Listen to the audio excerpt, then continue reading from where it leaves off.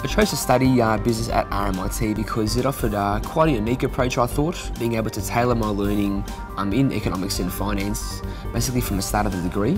which is quite unique in essence that most other degrees provide the opportunity to study business on a much more general level. Many of my friends had already been in RMIT before I came in,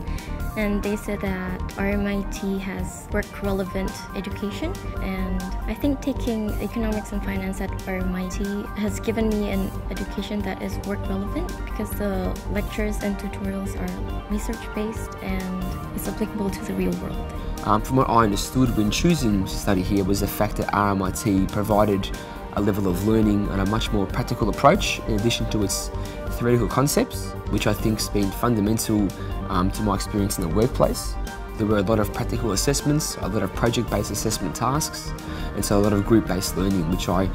look back on now and I think has been very fundamental to my learning and to what I've achieved to this day. My advice for future students is to um, work hard